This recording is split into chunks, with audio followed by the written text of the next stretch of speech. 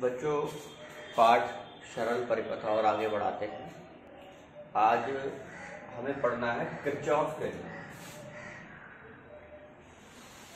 बच्चों, जैसे पिछले पाठ में हमने एक सवाल या प्रॉब्लम ऐसी हल करते थे कि जैसे किसी परिपथ में कई सारे प्रतिरोध लगे हुए हैं और हमसे कह रहा है कि इतने ओम के किसी प्रतिरोध पर हमसे कहता है, इस प्रतिरोध पर वोल्टेज बताओ या इस प्रतिरोध पर आप धारा का मान ज्ञात करो कि इस प्रतिरोध में धारा कितनी जा रही है, कि इस प्रतिरोध में वोल्टेज कितना जा रहा है।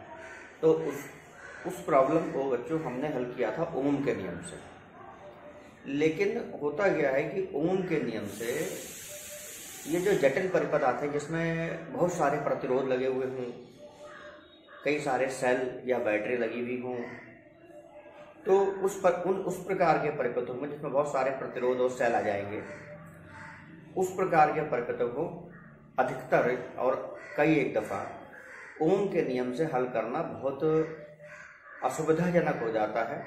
या यह कहना चाहिए कि ओम के नियम से लगभग उस प्रश्न को हल करना असंभव हो जाता है। सन 1842 में बच्चों, वैज्ञानिक के गुस्टाव किरचाफ पूरा नाम है इनका। गुस्टाव किरचाफ इन्होंने जटिल परिपथों में ही किसी भी प्रतिरोध पर धारा का मान निकालना और किसी भी प्रतिरोध पर वोल्टेज का मान निकालने के लिए दो नियम दिए जिसमें ध्यान देना है बच्चों किरचाफ के नियम की सहायता से हम किसी भी जटिल परिपथ में धारा और वोल्टेज निकालेंगे, जिसमें से इनका जो प्रथम नियम है, या प्रथम नियम को कहते हैं धाराओं का नियम या संधि का नियम। देखो बच्चों, ये जो नियम है, प्रथम नियम, धाराओं का नियम या संधि का नियम, ये नियम इनका आवेश संरक्षण पर आधारित है। ये नियम इनका किस पर आधारित है? आवेश संरक्षण के नियम का रूप है। यह आवेश संरक्षण के नियम का रूप है। इसका मतलब है आवेश को ना तो आप नष्ट कर सकते हैं, ना उत्पन्न कर सकते हैं। जैसे मान लिया हमने, सपोज़ करो ये किसी परिपथ में एक बिंदु है, जैसे सपोज़ करो ए और यहाँ कई सारी तारें देखो ये आ रही हैं। मान लीजिए तीन तारें आ रही हैं, यहाँ जुड़ रही हैं, और दो तारें इस बिंदु से बाहर निकल रही हैं। सपोज़ करो ये धारा इस पर, इस बिंदु की तरफ़ आई आई वन, ये आई आई टू, ये आई आई थ्री। लेकिन सपोज़ करो ये तीन धाराएँ तो इस पर आ रही हैं। और ये आई फोर और आई फाइव, ये धारा मान लो इस बिंदु से बाहर निकल रही है। तो आवेश संरक्षण का नियम का अर्थ है कि आवेश ना तो उत्पन्न कर सकते हैं, ना ही नष्ट कर सकते हैं। मतलब किसी भी स्थान पर या किसी भी बिंदु पर कुल जितना आवेश या कुल जितनी धारा आएगी उतनी धारा उस बिंदु से निकल कर जाएगी। मतलब बिंदु ए पर जैसे मान लो हमने एग्ज़ाम्पल तौर पे ये माना कि बिंदु ए पर तीन धाराएँ आ रही हैं I one I two I three ये तीन धाराएँ आ रही हैं तो कुल आने वाली धाराएँ कितनी हुई? I one plus I two plus I three संधि पर कुल आने वाली धाराएँ क्या हुई? I one plus I two plus I three और संधि से निकलकर जाने वाली धाराएँ क्या है? I four plus I five ये दो धाराएँ निकल कर जा रही हैं। अब आवेश संरक्षण का क्या मतलब है कि आवेश ना तो उत्पन्न कर सकते हैं, ना नष्ट कर सकते हैं। इसका मतलब जितना आवेश किसी संधि पर आएगा, उतना ही निकल कर जाएगा। इसका मतलब कुल आने वाली धाराएँ और कुल जाने वाली धाराएँ आपस में बराबर होनी चाहिए। तो I one plus I two plus I three बराबर होना चाहिए I four plus I five ये इस बात को भी कह सकते हो कि ये किरचाफ का पहला नियम है। हालाँकि यहाँ हमने अलग बात लिखी है, लेकिन कहने का मतलब यही है, वो अलग शब्दों में बात है, लेकिन वो भी समझाते हैं। किरचाफ के पहले नियम को आप इस रूप में भी कह सकते हो कि किसी परिपथ की, किसी संधि पर, संधि का मतलब होता है जोड़। किसी परिपथ की किसी संधि पर कुल आने वाली धाराओं का योग, ये कुल आने वाली धाराओं का योग और यह कुल निकलकर जाने वाली धाराओं का योग हमेशा बराबर होगा। ऐसा कह सकते हो कि किसी भी परिपथ की, किसी भी संधि पर कुल आने वाली धाराओं का योग और कुल निकल कर जाने वाली धाराओं का योग बराबर होगा। या इसी बात को देखो, ऐसे भी लिख सकते हो कि I one plus I two plus I three और आई फोर आई फाइव कर लो तो minus I four minus I five बराबर ज़ीरो और जो ये हमने योग दिखाया है, ये देखो, इसमें क्या है कि हमने आने वाली धाराएँ प्लस से जोड़ी हैं और निकल कर जाने वाली धाराएँ माइनस में आ गई। तो इसको कह सकते हो धाराओं का सदस्य योग या बीच गणितीय योग। और योग को हम गणित की भाषा में एक शब्द यूज़ करते हैं, सम्मेंशन। जिसको हाई स्कूल में ढंग से बनाते थे। बड़ा ई करके। लेकिन हाई स्कूल में कई दफ़ा बच्चे सबको पढ़ लेते हैं सिग्मा ये सिग्मा नहीं है। ये बात हमने पहले बताई थी, ये सिग्मा नहीं है, इसको पढ़ते हैं सम्मेंसन और सम्मेंसन का मतलब होता है योग। और यहाँ बच्चों क्या हो रहा है, ये धाराओं का योग हो रहा है, लेकिन धाराओं का सदस्य योग, जिसमें हमने आने वाली धाराओं को प्लस से और जाने वाली धाराओं को माइनस से दिखाया है। तो सिग्मा आई, बराबर ज़ीरो ऐसे भी लिख सकते हो और सॉरी सम्मेंसन आई बराबर ज़ीरो और सम्मेंसन आई का मतलब है कि धाराओं का सदस्य योग बराबर शून्य होगा। और धाराओं का सदस्य योग कैसे लोगे? कि आने वाली धाराएँ प्लस से और जाने वाली धाराएँ माइनस से। तो किरचाफ के पहले नियम को इस तरह से भी कह सकते हो कि किसी विद्युत परिपथ की किसी संधि पर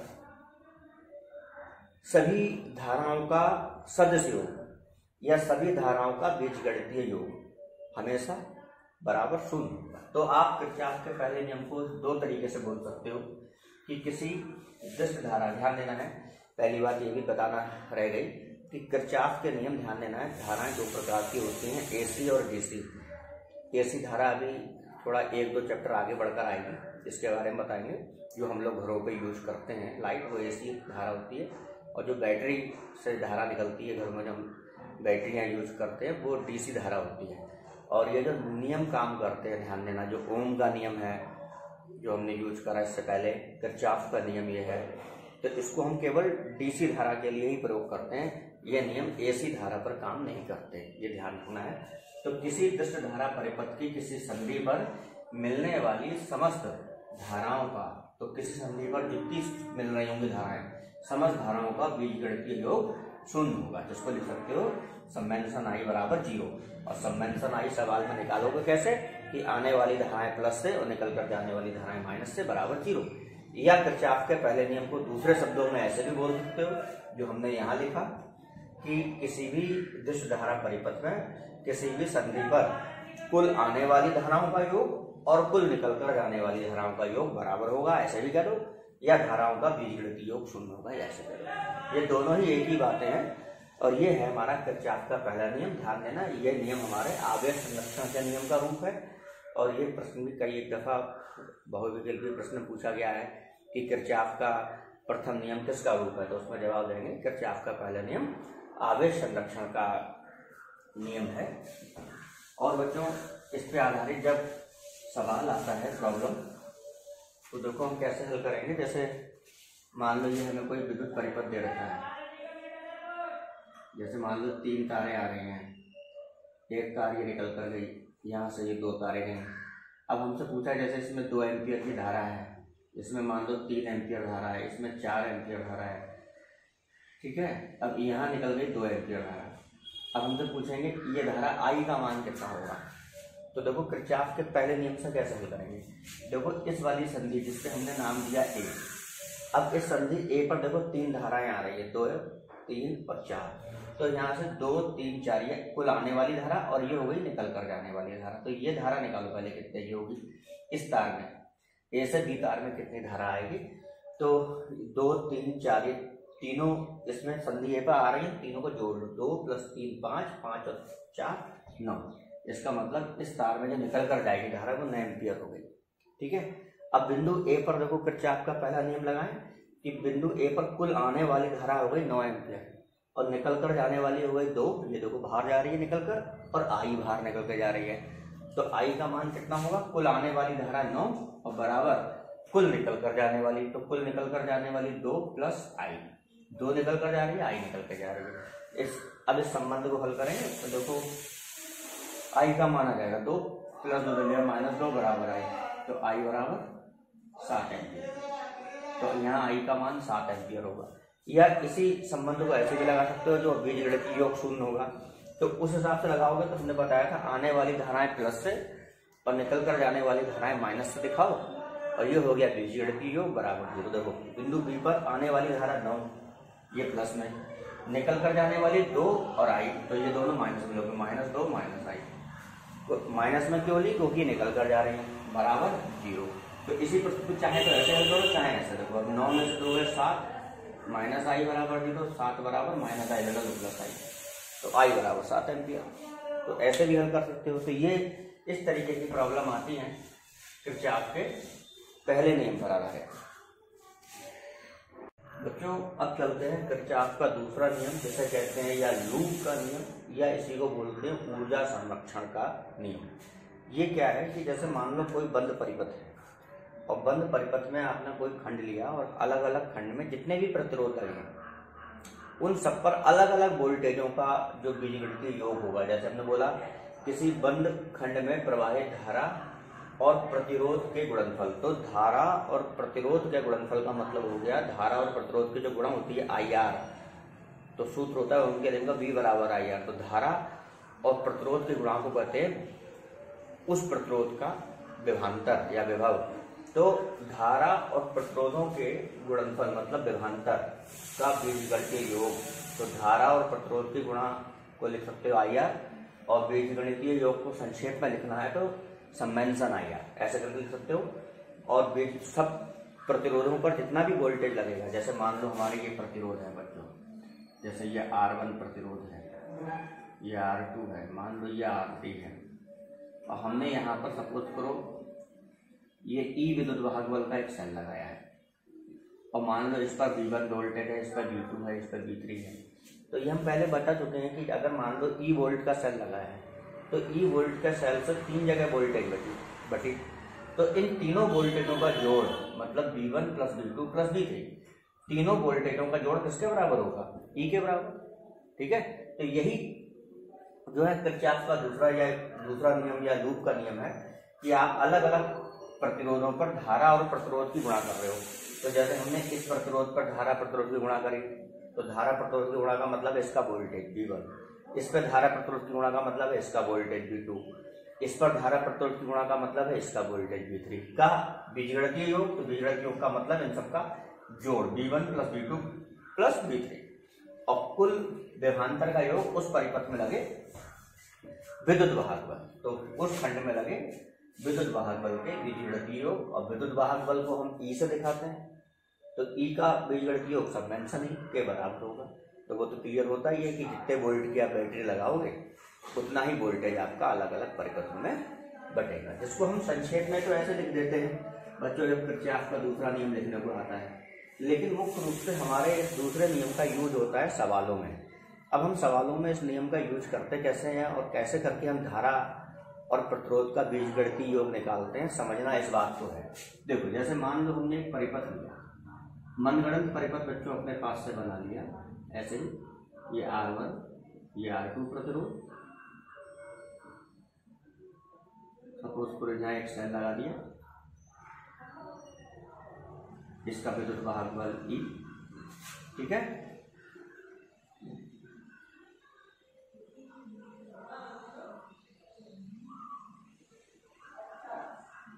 ये प्रतिरोध ले लिया आर थ्री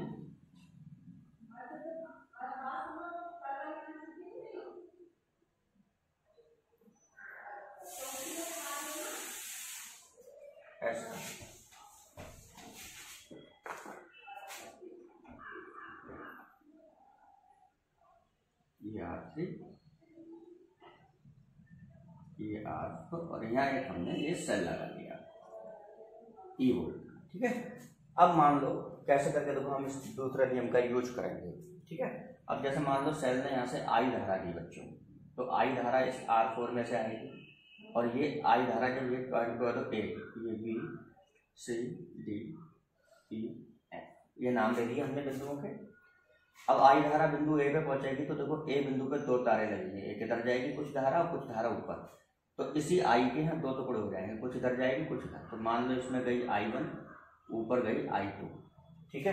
तो आई धारा के दो टुकड़े हुए आई वन और आई टू तो इसका मतलब यहाँ पर का अगर पहला नियम लगाओगे तो आने वाली धारा आई और निकल कर जाने वाली आई वन और आई टू तो आई बराबर I one plus I two तो आई टू धारा ऊपर वाले में चलती जाएगी। ये आई टू गई, इसमें भी आई टू गई। और आई टू इधर से आई वन दोनों बिंदु डी पर आई वन इधर से आएगी और आई टू दोनों मिलकर यहाँ बिंदु डी पे मिल जाएँगे, इस लाइन में आ जाएँगे। और आई वन और आई टू दोनों मिलकर बन जाएँगे फिर आई तो सेल से आई धारा निकली थी और लौट कर सेल में आई धारा आ गई।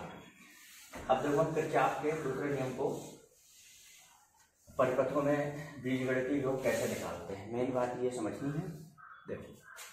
जैसे मान लो हमने नीचे वाले परिपथ में लिया, हमें क्या करना है कि जैसे मान लो हमने बंद परिपथ लिया, बंद पाश F A F A D E D E F में। देखो, हम किरचाफ का दूसरा नियम लगा के दिखा रहे हैं। आपको करना क्या है कि जिस दिशा में अगर सेल लगा है, आपका जो बंद परिपथ आपने लिया, उसमें अगर सेल लगा है तो जो दिशा सेल की है, धारा देने की, उस दिशा में एक काम कर सकते हो कि आप जो है, एक अपनी सदस्य योग निकालने के लिए बीज गणित योग को सदस्य योग बोल रहे हैं और सदस्य योग का मतलब दिशा के साथ योग। और दिशा के साथ योग निकालने के लिए आप एक पॉजिटिव डायरेक्शन मानोगे। और पॉजिटिव डायरेक्शन तो हम अपनी इच्छा से कोई भी मान सकते हैं, लेकिन सबसे अच्छा यही होता है कि जिस दिशा में सेल धारा दे रहा है, उसी दिशा को पॉजिटिव डायरेक्शन मान लो। और जो धाराएँ आपके पॉजिटिव डायरेक्शन आप चाहे बामाव्रत घूम जैसे मान लो हमने F A D E F में पॉजिटिव डायरेक्शन सपोज़ करो, ये मान ली। ये बना ली हमने, ये मान ली हमारी पॉजिटिव डायरेक्शन तो जो धाराएँ हमारी पॉजिटिव डायरेक्शन के चलने के साथ होंगी मतलब हमारे पॉजिटिव डायरेक्शन की दिशा में चलेंगी, उनकी हम प्रतिरोध से गुणा प्लस में लेंगे और जो धाराएँ हमारी विपरीत चलेंगी, उनकी गुणाएँ माइनस में लेंगे बस इस तरह सदस्य योग निकालते हैं। जैसे देखो F A D E F में कैसे निकालेंगे? पहले एफ़ से ए तक आओ तो देखो एफ़ से ए तक कोई धारा नहीं है, ठीक है? ना कोई प्रतिरोध सॉरी कोई प्रतिरोध नहीं है। इसलिए इस खंड को छोड़ दो, फिर ए डी में आओ तो ए डी लाइन में देखो, प्रतिरोध है आर थ्री धारा है आई वन तो धारा और प्रतिरोध की गुणा करी तो आई वन आर थ्री ये धारा और प्रतिरोध की गुणा लिख ली, लेकिन साथ में लिखना ही प्लस में होगी कि माइनस में होगी। तो देखो आई वन धारा तुम्हारी इसमें इधर जा रही है? और तुम्हारी जो पॉजिटिव डायरेक्शन तुमने बनाई, वो भी इधर ही जा रही है। तो ये पॉजिटिव डायरेक्शन और धारा की दिशा समान है ना तो ये गुणा ना प्लस में लोगे। और अगर पॉजिटिव डायरेक्शन जा रही है इधर, लेकिन धारा जा रही होती है इसके विपरीत इधर तो यही गुणा हम माइनस में ले लेंगे। आगे बढ़ो। एडी की गुणा हो गई। अब डी लाइन में देखो कोई प्रतिरोध नहीं है तो छोड़ दो। जिस लाइन में प्रतिरोध नहीं है तो उसमें प्रतिरोध और धारा की गुणा थोड़ी होगी। जहाँ प्रतिरोध होगा, वहीं गुणा होगी। अब ई e एफ़ लाइन में आओ। तो देखो ई e एफ़ लाइन में प्रतिरोध है आर फोर, धारा है आई ये धारा ये आई है। आई धारा जा रही है। तो आई और आर फोर की गुणा आई आर फोर। और चिन्ह लगाएँगे तो देखो धारा जा रही है इधर की तरफ़, और तुम्हारी पॉजिटिव डायरेक्शन भी इधर ही है। तो इसका मतलब ये गुणा भी प्लस में तो प्लस का I one R three plus का आई आर फोर ये हो गया धारा और प्रतिरोध की गुणा का सदस्य हो और बराबर किसके होगा? जो इस बंद खंड F A D E F में जो विद्युत वाहक वाला है मतलब कितने वोल्ट की बैटरी लगी है। तो कितने वोल्ट की बैटरी है? ई वोल्ट की तो बराबर ई तो हमारे इस बंद खंड F A D E F में अगर हम किरचाफ का दूसरा नियम लगाएँगे तो बच्चों, ये समीकरण बन के आएगी, ठीक है? अब इसी प्रकार हम और लगा के दिखा रहे हैं लोग का नियम। बंद पास इसमें ले लो ए बी ऊपर वाले में A B C D A में। देखो इसमें लगाए अब देखो A B C D A तक कोई बैटरी नहीं आ रही है।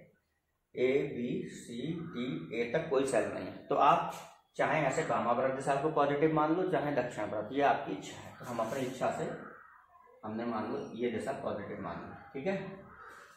अब देखो प्रतिरोध धारा गुणा करो तो अगर ए से बी में कोई प्रतिरोध नहीं है, छोड़ दो। अब बी से सी लाइन में आओ तो बी से सी लाइन में देखो दो प्रतिरोध है आर वन आर टू तो पहले आर वन की इसमें बहने वाली धारा है आई टू तो आई टू और आर वन की गुणा हो गई आई टू आर वन अब चिन्ह लिखाओगे तो देखो धारा जा रही है इधर, ये, और तुम्हारी पॉजिटिव डायरेक्शन भी रही है। तो ये गुणा किसमें आएगी? प्लस में, ठीक है? अब आर टू की आई टू से गुणा हो गई आई टू आर टू और इसकी चिन्ह लिखो तो देखो तुम्हारी धारा की जैसा और पॉजिटिव डायरेक्शन दोनों समान है। प्लस में और आगे बढ़ो। सी डी लाइन में आओ तो सी डी लाइन में कोई प्रतिरोध नहीं है। अब आ जाओ डी ए लाइन में तो ए लाइन में देखो प्रतिरोध है आर थ्री धारा है आई वन तो आई वन और आर थ्री की गुणा आई वन आर थ्री लेकिन चिन्ह क्या होगा? तो देखो तुम्हारी पॉजिटिव डायरेक्शन जा रही है इधर। देखो, ये है पॉजिटिव डायरेक्शन ये। और धारा जा रही है, देखो इधर, इसके विपरीत। है? तो पॉजिटिव डायरेक्शन इधर है, धारा विपरीत है तो ये गुणा आएगी तुम्हारी माइनस ये करना है।